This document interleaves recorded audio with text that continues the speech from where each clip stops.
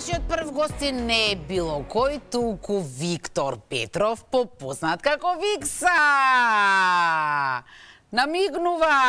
Што ти значи намигнувањето? Чекај да те чу... Со кое око намигнав? Искра, со трето око пробав да намигнам, тоа треба да игра. Ова, мислам, индиското езотеричен поздрав за тебе и твоите, и твоите луѓе, а, твоите следбеници.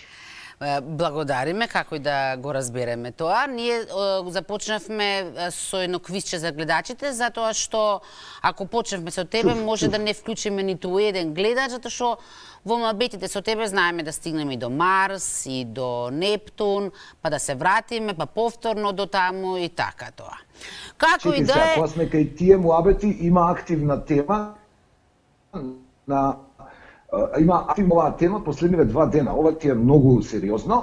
На цела Македонија, Струга, Охрид, особено високи места, Сараево и Загреб, имаше појава на некои викаат дека се метеори, некои викаат дека е поставување на некој не знам каков сателитски систем, ама ова ти е птен актуелно. Да почнеме од тука, а сега кажуј што ни е планот. Ќе го преживееме тоа поставувањето на тоа што го да, кажуваш? Да, да, о, Да, да, ова е само интересно или или едно или друго. И двете, што и да е, од ова што се предпоставува дека е, едното е интересно, другото е корисно, така да нема лошо, ја го кажувам ова само како како добар како добра информација. треба уште да ја споделуваме Видам... таа информација или може да преминеме не. на Доволно е. Доволно е. Ви можеме да си играме ако си играме. Слушнав некои од прашањата. Да, чеки, прво вака сега, Викса ти си еден од редките кај кои што се јавувам, кој што исто како нас си работи во ова време. Ти, да ти кажам, да. на Сити Радио и на Метрополис секое утро ги будиш. Така? Да. Не, не гледачи, да значи, да слушателите. Мене ми праќаат, мене ми праќаат пораки uh, слушатели. Mm -hmm. Има две радија, тоа се Метрополис и Сити и секој утро од 7 до 8 последниве 12 години во низа не сме утнале, не сме закасниле, не сме скокнале, освен кога мора, ама тоа е многу ретко. Стануваме и се будиме со најдобро насмеаната група на луѓе. Не викам дека тоа се единствените, ама интересно е. Прво две работи, две работи, две работи ме чудат околу тоа. Прво никогаш не сум те замислувала дека си ти ранобудник. Ама еве со години да, веќе докажуваш дека функционира. Мислам стварно не знам како ти успева тоа. Тоа е првиот момент, а вториот е Ке ти кажам. А, велиш дека наутро делите насмевки, така? Тоа ти е мотото на емисијата. Споделуваме. Споделувате. Е, види, да, про, да, пробуваме. Колку е нашиот народ ме интересира насмен во 7 часот наутро? Јас лично не сум.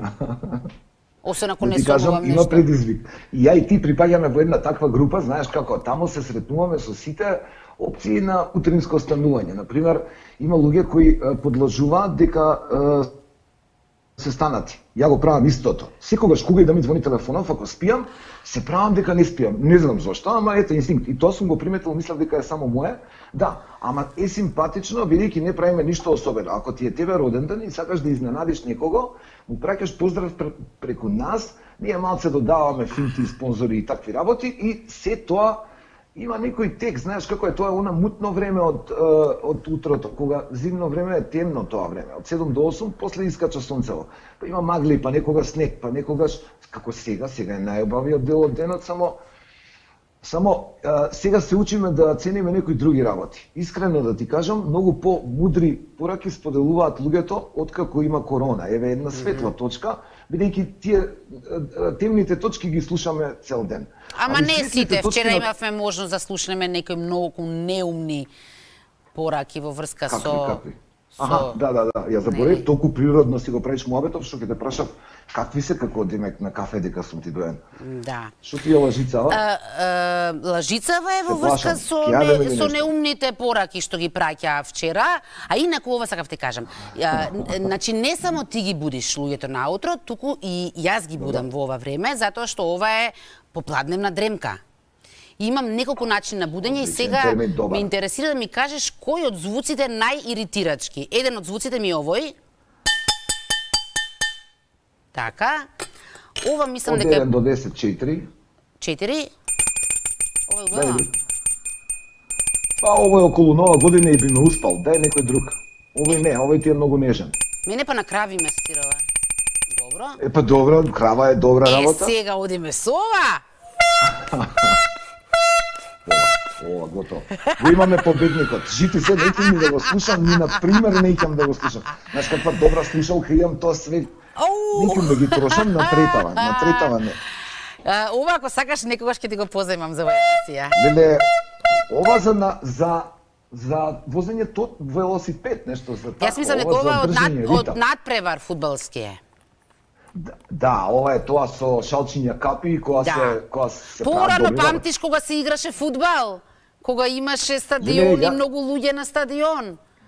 И над превари кога се игра. Сервис на улица, искра, и сум си играл сервис на улица од центар кај ај да не кажувам сега кафич, ама кај споменикот на Карпош, кој јава на конј, тука има кружен тек, е, тука на тие улички сме играле сервис, сега да не мислат луѓето дека сум 375 години, Тоа па не е многу одамна, да, него светот да. ходи напред. Сер, ние го викав, ние во наше мало, ние сме по центар од вас, го викавме серва. Да, ти си по центар. Ти си по центар, ние бевме, ние, бевме аут, аутсайдери од католичка. Ти си зелен пазар. Ти си, ти си. Добро, што ме наиритирачко, okay. го, го оставаме на страна. Но, Викса, тоа не е се, не ги будеш само секое утро, туку Добро. три недели веќе поред, колку што разбрав, така, а, секоја среда, like. на вечер, имаш а, проект, ќе го кажеме тоа, така, не е само емисија, да, да. проект. Да. Меѓутоа, пред да ми обясниш точно што е, а, и твоето Добро. се вика платформа. И тоа е еден збор кој што деновиве е толку експлоатиран, а кога ќе прашаш нек, нели децава учат онлайн платформа, кога ќе кажеш да, некого така. го прашаш што значи, никој не знае точно да објасни. Еве да, ти преку твојот проект објасни ни каква е твојата платформа. Фала ти, фала ти за можноста и многу сладко и симпатично е прашањево, а ова е тоа такви прашања, ова се најубавите прашања, што се сите ги мислиме, никогаш не ги прашуваме, а вистина е. Да не испаднеме глупави, нели? Значи, да, јас како го осеќам, глед, платформа, ова е проект бидејќи сме ангажирани сите внатре, има пет систем од повеќе делови, пет сектори. Еден за вицови, еден за постови, еден за мои финти водам еден сектор како мала координација, еден е за а, интернет унапредување и еден е за мейнстрим финти. И сега ја ќе ти ги кажам ова на брзинка што значат. Знаеш, некои го објаснуваат самото тоа, меѓутоа платформата е, е нешто кај што може да се надоградиш ти и твојот стайлинг за смеење. Нели секој си има стайлинг за облакање, не знам, по колата се препознаваш по ова, по она, некогаш се препознаваш и по музиката, односно да, по музиката секогаш, али и по смешките, многу се знае што човек си и кај припаѓаш. Таа платформа има место за сите, али па вкупната енергија не правиме Кока-Кола, нема баш за сите, ама има место за еден од петте сектори што ти ги објаснив, ако ти е интересен и ако приметиш дека времето ти поминува многу брзо, а поминале повеќе, е тоа е предуслов дека треба да се дружи со нас. Иначе планираме трета недела, вчера разговаравме овај проект кој постои многу одамна и сега го ревитализираме со коронава. И имаме наплив на соработници со кои сме се сретнувале порано, што како клиенти, на пример, тие биле тинејџери пред 15 години, сега имаат деца, фамилии и се гледаме така. А се гледаме и од една нова генерацијска перспектива, тоа се најновата регрутирана публика на пациенти, така се викаме меѓу себе, бидејќи нели тоа е клиника кај што има еден доктор, докторот е сестран, се е иронично и сатирично, скоро да е како да е вистина, ама не е. И да ти кажам, ја почнав да бегам у среда на таа платформа. Интересно е, се развива, убица на досадна корона време 100% и сите сакаат да учествуваат барем до сега, да, ако не си зборам пред рака, зборувам за е, гостите кои до сега ми пројдаа. А... Ама те канам и тебе, ти си наш човек, ти знам дека Уште еден пациент. кога сме излегувале во град и дека сме разговарале на овие ноќни теми, такви теми правиме и таму. По, повраќање на отпишаните, така да, тоа се вика, нели? Повраќање на отпишаните е сега ради платформата, а инаку Балканска е банка, е уствари Балканска е банка е прв пат кога имаше интернет и уште немаше банки, ние го крстивме Шалтеров као Балканска за е банка. Да. Зезанка. Ама јас морам да ти кажам уште нешто. Зезанка. Ова ти кога ми ми напиша Кусо Инфо, нели? повраќање повраќање на отпишаните, јас бидејќи не те не ги имав очилата, јас знаеш прво што што прочитав. Повраќање на општините прочитав.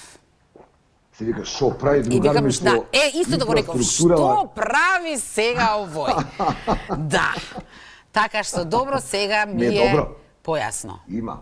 Ова може да е добар проект, знаеш дека ништо не е случајно. Повраќање во општините, ова може да е да направиме првиот спонзор што ќе ни влезе и ќе ни даде малце посериозни пари, ќе направиме базени сегде низ Македонија и ние ќе се повраќаме со добрата енергија низ општините низ Македонија. Ќе почнеме со петте скопски. Јас секоја добра идеја има плодна е, добро почва. дојде на да. Искрено, јас се радувам вака кога ќе ни текне нешто паметно. Брилијантно, нели? Не се занесе. Па макар и погрешно. Имаме две работи за тебе. Едното е мини квизче на тема Великден. Браво. А другото нешто бутнав. Која тема? Нешто бутнав. А, Великден е денес, нели? Чеки прво да ги ставам очилата, да, да не утнам нешто, да не ти кажам нова година дека е. А, но, но велики петок, така го Да, но не Велик ден а, обшто за сите, туку Велик ден за Викса што представува. Аха. Океј, okay? да. Ако не сакаш да одговориш, ќе си влечеш предизвик. Да, чув, жената пред мене играше, сакав да видам што се случува, чув, а од прилика ги знам правилата, па не ми ги објасни, јас те гледам. А јајцето, ако си гледал, не го виде јајцето, видиш, не е сладко со маскичка корона? Зашто вие Добро, супер вие јајцева, има ли другар некој? таму во студиото. Не, самичко, и, ама, па не, во самоизолација е. Овде сме тројца во студиото, не смеем повеќе за да, тоа. Да, и а Косава е е полуден ваков е, разбушавен. Јас кога би имал, кога би имал фризура, ваква фризура би имал, наискрено. Ама сега тоа така ми се паднало. Ама немаш. Имам, али не ја носам по дома, искрено, не, не, да не си. Ајде, Викса, да видиме.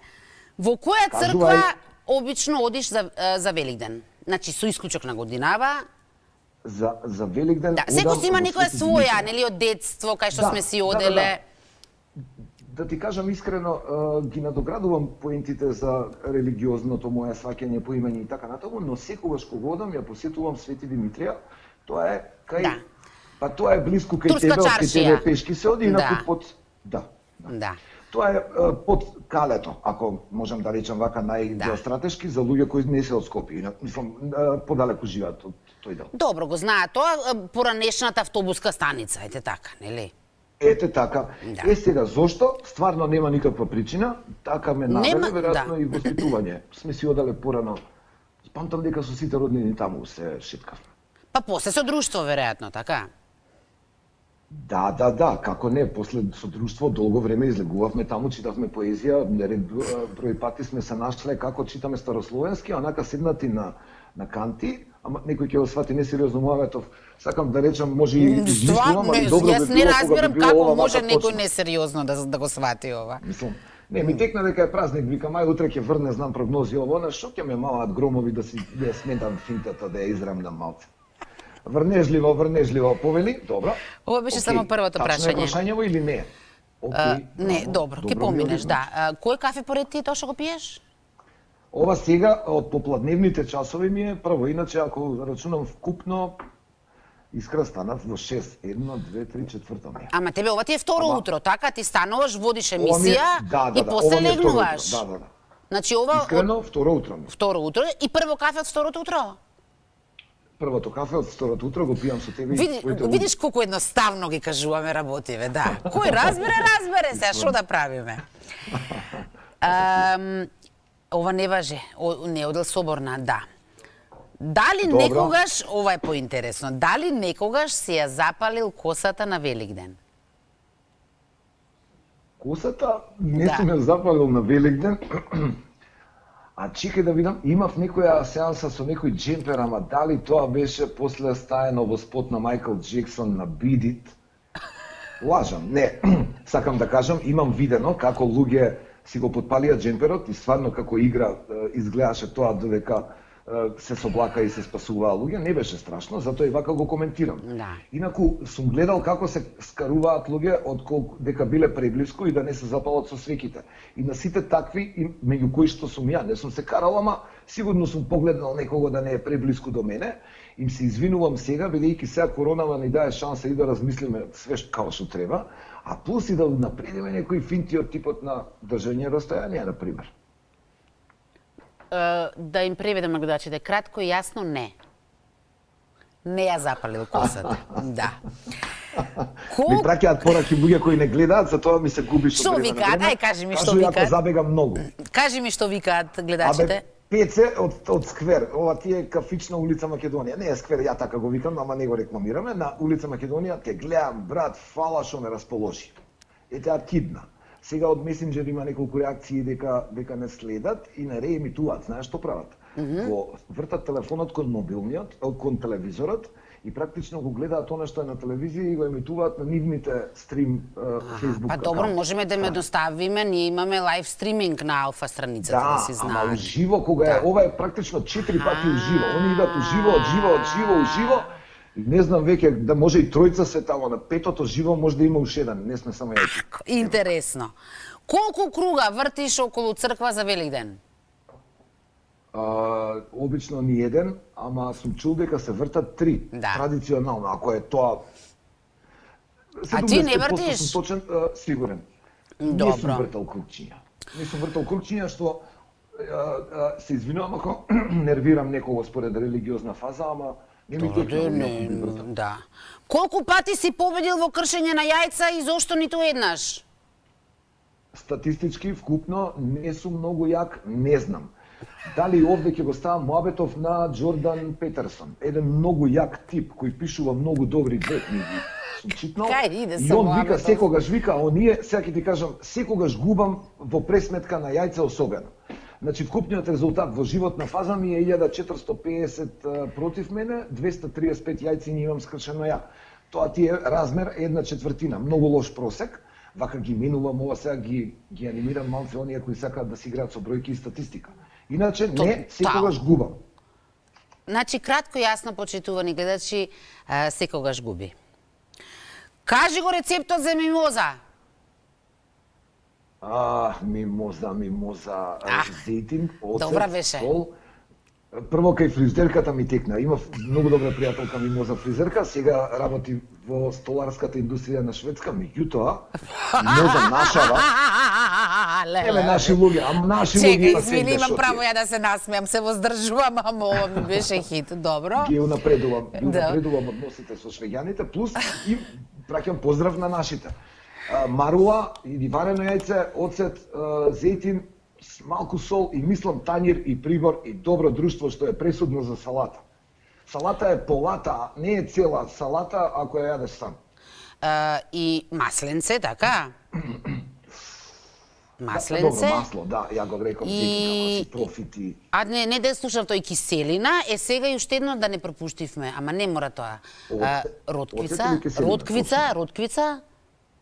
Не? А, точно е. Зошто може, не? може, може. Парено е. Ама и за бојата нели треба нели треба повеќе бои да има во салатата? Така е, слушајте искра, црвена боја, точно да. е, ротквица и тоа бела. Да. Како не? А види, може Како сега не? и од лушпата од јајцето ако да ти остане. Стави, може црвено? да се стави дури и сушена кјубри, кјубрица со ке. Сега ќе ти кажам зашто, тоа ми е ветивме на проектов дека два дена ќе збориме со ке и наместо ново лиси ке, збориме као ново лиси ке. Така да ќубрица треба да се стави обавезно во овој вид на салата. Ова вие, ова вие, чеки се кажи ми, вчера, значи вчера на емисијата се зборувале, на проектот се зборувале на ќ, од вчера почнува да. тоа? Од вчера почнавме ќ да го ставаме во секоја неупотреблива и употреблива варијанта. Например, на пример, Кикса. Денес прашањето главно е Кикса? Кикса. Ете ти, ете ти добар пример, леле, да. искра, одма, ти си, па тоа е, одма се гледа Немам што да додам, вознемирено, прекрасно, одушевен сум. Одушевен. Значи, тоа значи, е дзирни, Балкан, да, имаме фан страна, дзирни тамо, да не го рекламирам джабе само ова, сакам само да напомнам. интересира, ти кажам. Маѓари, пролеке, многу добра населба да. за живење. Новолисике, исто. да. Ќарпош, не знам дали баш личи зборот, али као населба е лудил. Ќе ни текне. Еле, искра, јака ти душе, ќе ми се јавите друг пат? Не. Зошто да не? Еј, како да не? Па не мислам да не. Да не ви го рушам концептот на... Со тебе времето леќа. Леќа времето со тебе. леќа. Со тебе, со тебе леќа. После 16 ќасот се е успорено, така што да. Исто вчера Сашко Коцев вика, Луѓе, абе немојте волку фини со мене 5 минути, ја едва чекам да влезам у шкаф и да зборам со некого, има Јана две години и цело време се е интересно дека сите сме по дома и децава си се качуваат по татковци, мајки, она дури бркаше врски за да го бараме почесто на интервјуа за да нели може да има да му се разбие полицискиот час, сакам да кажам вако. Да се вратиме на темата. Која Супер. песна те асоцира на Великден? Ау, на Владко Лозановски од Сабајля го зборев прво, а после одма тука доаѓа Джокси, не е. Али Владко Лозановски е многу да кажеш дека Джокси ти паднал на второ место за Великден. Па добро, дека Радиски го мислев ово Сабајле, барав да бидам различен, иначе не, иначе не. Па ќе ќе тажи Ќокси. Ќокси да не ме да свати погрешно. Значи зборувам за неговиот хит, меѓутоа младите кои доаѓаат исто се добри, ја им давам лайк инаку со Ќокси имаме муабет ме секире. За неговиот Знаеш, што ми е мене чудно? Дали Кјур беа добри кога бевме малце помлади? Како добри? Па дали беа добри или беа супер, не ми, не ми текнува. Или Кюин, за нифи филм праве едно време за Кјур ти зборам значи, со едните и другите, само што едните беа така малку позабеганки од другите. Е, гледаш, а денес се у мейнстрим сектор. Например, денес кога бараш музика, они се у некој поп арт тука нешто, не се нити забегани, нити о. Тоа значи Каква дека врска има тоа со Ќокси и со Великден? Бев на радио, тоа ти викам, и Ќокси го размишљав од Сабајле, ова што го поврза со Кјур. Како спремен одговор со Кјур го поврза Ќокси? Секако. Добро. Кјур, денес е петок. Кјур имаат Friday I'm in love. Значи, а, таму Кјур, па велики петок и свето Искра знам дека ме разбираш. За нештата да станат Кажи... појасни, добро. Дали некогаш си се заљубил на Великден како Ќокси? Многу сум сакал да се заљубам како Ќокси, сум сакал како себе да се заљубам па сум се заљубувал како тетреп, сум пробал да се заљубам како како тетреп на квадрат и не ми успеала ни една од овие варијанти, бидејќи тој од другата страна никад не пробал во исто време. Се у различно време се пробувавме. Меѓутоа, чекај. Чекај, а може ли едно мало подпрашање, како се заљубува тетреп? Тетреп се заљубува, му се одзимаат реалните, му се губи реалноста, се укочува у ногзете, зима воздух длабоко и гледа во далечина као комита пред као комита која чека писмо у Турско. Прилика ја така го замишлям, иначе не знам, вистински немам пој. Не, до, добар, добар ти описов, да. Мислам дека и вреди да се провери. А што мислиш, дали, дали приказната на Ќокси е вистината? А, мислам дека има дел вистински, сигурно. Па не може да лаже ону песната, до сега ќе го удреше гром, не знам што ќе му... Затоа се секој великден громови удираат. Речеше здраво. Јас сум ќокси. Па тие што лажат, а не признаваат дека лажат, значи тие што лажат дури пред себе дека лажат, да знаат дека ако врне на Великден, тоа не е лош гром, тоа е опаметувачки гром. Не може да го видат сите, ама ќе се знаат. Така што Джокси не ми личи на ваков фраер. Добро. Мене ми личи дека него некоја другарка му се жалела за Великден. И он толку бил знаеш, ние мажите понекогаш и кога сакаме да помогнеме, некојаш ја промашуваме. И он си рекол, чекај, јас сум добар на друго поле, ја да си направам песна, а цело секогаш ќе биде вградено и не знам, ја така некако во моментов ова го измислив, инаку... Благодариме. Ти ми рече да ти кажам кој ќе забегуваш, така? Апсолутно да. наш okay. си, ајде кажу. Дали некому некогаш си раскинал на Великден или дали тебе некој ти раскинал? Пардон, некој ја. Лошо си да, да, да, да, ти кажам искрено, никогаш не сум размислувал дали е празник за да раскинам. Но, понекогаш ме фаќале бедови кога сум размислувал, например, за некој Емотивните работи, мислам дека никогаш не ги мислиме, дали е празник или не, а тоа не би требало да е така. Сега а имаше порано една финта, памтиш дека пред да одиш на одмор и раскинуваш на женската за да можеш да идеш сам на одмор? Леле, и фаќаш друга пред нова година за да тука нешто преживееш до март. Абе добро, да, ама не, не, не, тоа со ко, да. Како се викаат тие? Тоа со Со транзицијата си од не знам, не знам.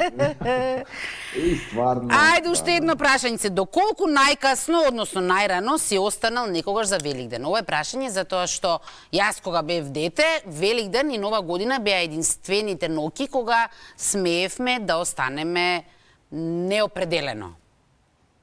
Да, и да, да можеш да спиеш кај другарка и да правиш да. што сакаш и Знаеш како? Јас јас сум едно од срекните деца што имаат другари на стратешки клучни места. Другар ми а, живееше Карши Тропикана. Тоа ти е кај Парамарибу. Карши на булевар Климент Охридски. Добро. Значи од црквава ако продолжиш кон водно 50 метри, влагаш на тераса кај најдобриот другар и ни бевме тројца. А, секогаш беше ритуал, дури толку бевме занесени, имавме и начин како да се качиме преку преку прозорите, да не сме трошеле време од влез, па неговите ќе ги поздравим, да, и така детски, ова ти кажем, тинејдж муабет, и така да имам вртено тајминг у круг, например, искачам за Великден, се враќам за Великден и пол. Еден ден и пол нешто, таква. Не знам, утре дента и пол, не знам како. Но верувам дека дека добро, ова сега не да не го пробувате во денешно време, многу покомплицирано. Прво, Зборам за време кога Комодоре било најак компјутер. Мобилен бил со жица, имало двојници и кога дневно поминувале по 1000 кола, коли на места кај што денес поминуваат 10.000. Така што фала ти што ме врати во детството, ама секој си има своји правила и да не да ги земете само добрите примери, сакам да речам. Ако сега растете. Одиме сега Што уште една друга игричка, може? Не, ова, ова како ги стаи на очариве, ова у Светска здравствена организација, вака пред да го прочитаат списокот, готово короната заврши. Таква, таква позиција. Е, да, шо убаво, што убаво ке беше. Добра позитивна вибра. Многу ќе беше убаво да заврши. А ќе заврши еден ден, Виксан. Да, и ќе речат марсовците ни помагаат на нас, на оваа планета Земја, ни доделуваат по 4,5 просечни светски плати, и од сега натаму нема да има никакви вакви глупости, сите ќе бидете вакцинирани како што треба. У некоја СФ приказка може и така да се развива приказката се, а реалноста ќе видиме што ќе ни донесе. Ќе видиме и кој ќе го игра кој ќе го игра главниот херој во филмот.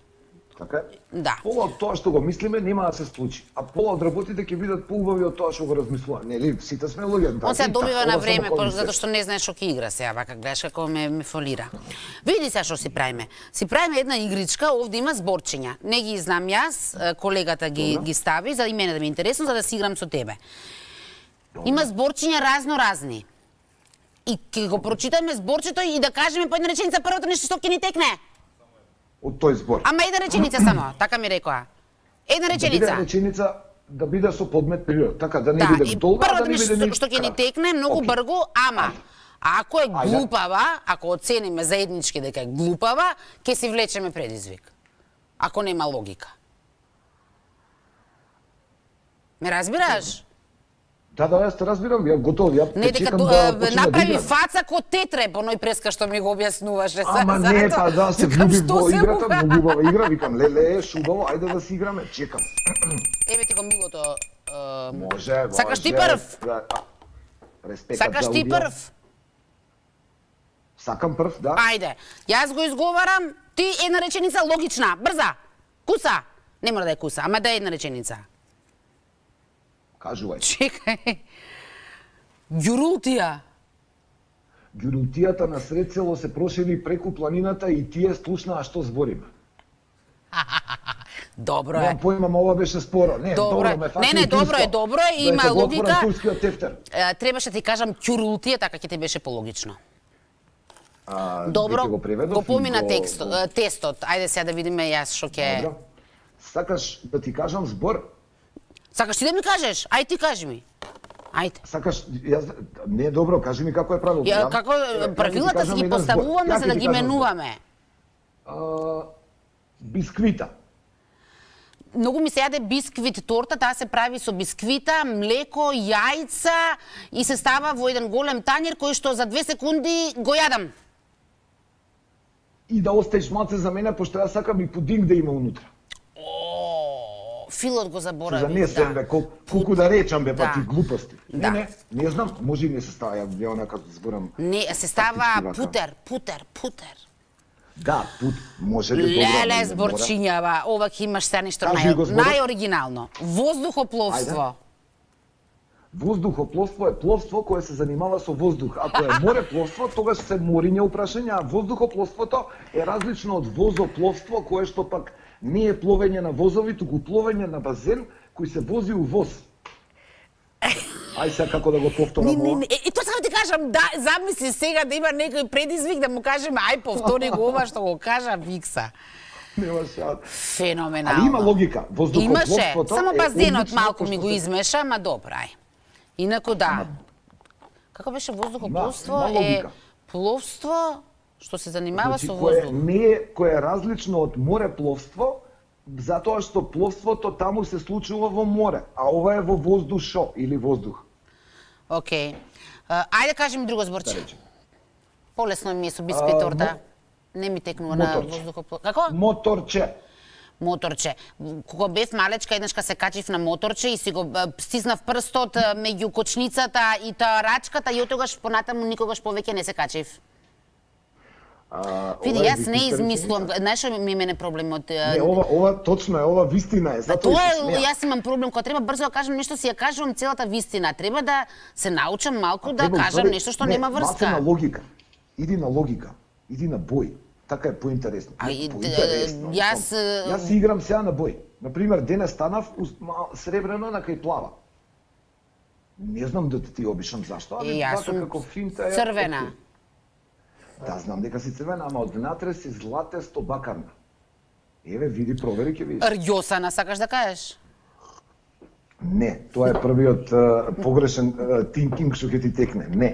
Uh, Да, може да е традиционалната интелектуална рга е добра работа, ама не збориме за исто. Ти збориш за фероникел, а ја ти зборам за е, нешто што може да се осети, а не се пипа. Ајде ве ти зборче, рѓа. Да речеме. Рѓавата рѓа е подобра од прѓа, односно прѓа не постои затоа што е рѓа. Ова беше на прва топка, не знам зашто ти реков, ау, можев на врв, рѓа, брѓа, мрѓа, ама тоа се ами текна. Е, е, каснам, каснам, каснам. А добро би било, на врв веѓа, рѓа, мрѓа од преѓа. Ти си, ти си ми поинтересен, поинтересен си ми, ќе ти давам тебе понатаму да си ги правиш. Ја многу вистини кажувам, не треба толку вистини. А, не са, добро, чекај, не, добро, убава вистина имаш, али дај ми уште еден збор, ај. Шуќур. Ајде доека сум загреан. Шуќур. А леле, извини, не, ти го убив, ти го убив, те молам, извини. Мислев, сосема месец на интернетот, дај ми друг збор, пошто го чув, ама не е готово, тоа е пропаднав. Добро. Ти го убив зборот. Бакенбарди. Бакенбардите истоја како да е машко, а таа всушност вечерта го глумеше највеселиот тажен лик со најголемиот број кој беше од малите. Знаеш кој број? Знаеш ли дека Ова немаше логика. 7, Јас оценив дека ова како? нема логика и дека треба да играш еден предизвик. Ај, ај, чекај сега одма да ти кажам, дека Бакенбардите истоја како да е машко. Таа е жена, актер, која имала некој проблем и сепак надминувајќи ги сите проблеми, као сега, кога си доктор, сигурно не го замишљаш вака додека 10 години учиш медицина, не Јас памтам една што имаше мустаки, сега за Бакенбарди не памтам. Е, како не, сега ти кажам и кој вака у мојата сценарио режија, на пример, сестра на Ирина, Илина. Илина во драмски, мислам, немаше Бакенбарди да неа навреда, мислам, жената си е супер згодна, све тоа, окей, ама има глумено панкери, а, и мене ме има одушевено, бидејќи глумеше а, женско, глумеше панкер моторџија и беше екстра фраер. Мислам, во, во драмата таму има машка улога, а ја одигра како, како фраер. Ова сега искочи... Кај отидовме од Бакенбарди? Одиме понатаму. Па ти кажувам која е логиката. Добро, не, а не при, прифаќај, мислам, нема везе ако не е логично, не е логично. Ролшуи. Ролшуи да. се ретро фаза од скирол. Скиролот го уби хувербордот, а хувербордот сега мислам дека нема поново од тоа, односно оние што лебдат. Значи скирол, ролшуи, хувер, хуверборд, па ова сега тука како се вика. Мада, искра, Леле! ти возеше... Морам следно зборче. Ајде. Контрацепција. Контрацепција е одма карши рецепција.